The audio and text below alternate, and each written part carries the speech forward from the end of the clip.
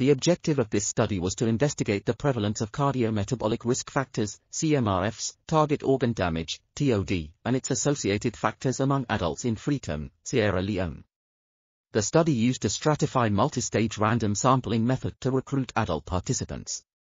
A total of 2,394 adult Sierra Leoneans aged 20 years or older were enrolled.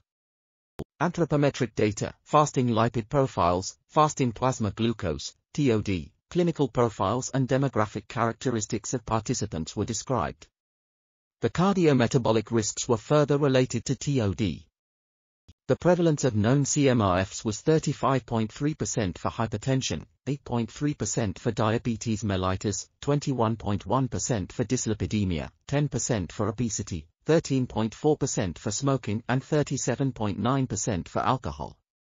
Additionally, 16.1% had left ventricular hypertrophy, LVH, by ECG, 14.2% had LVH.